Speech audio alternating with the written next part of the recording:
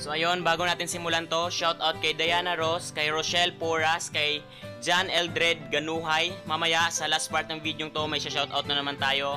So ayun, gusto ko lang pong pasalamatan yung nagpadala sa akin ng produktong to sa Pleasance International. Maraming maraming salamat po sa inyo. Sobrang napakabango po talaga. Sinubukan ko na kanina. Talagang nanunuot yung amoy niya. Kahit nga naghugas na ako ng kamay, talagang dumidikit pa rin yung bango niya. Kaya guys, inaanyayahan ko po kayo na kumontak na po at bumili ng produktong to kasi siguradong magugustuhan nyo to.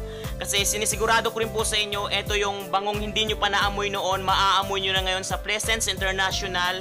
Kaya ayun, para sa karagdagan pang detalye ng produktong to, maaari nyo pong panoorin at pakinggan yung ginawa kong kanta para sa kumpanya nila.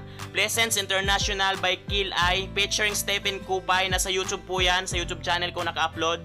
So ayun, maraming maraming maraming salamat po ulit sa Pleasance International, kay Sir Michael sa pagpadala ng produktong to. Maraming maraming salamat po talaga sa inyo. At yon shout out kay Merasol Beron, kay Francis Vlog, kay Ariel Catalan. Shout out po sa inyo. Yon, maraming maraming salamat po ulit. Pleasance International, napakabango po talaga. Salamat.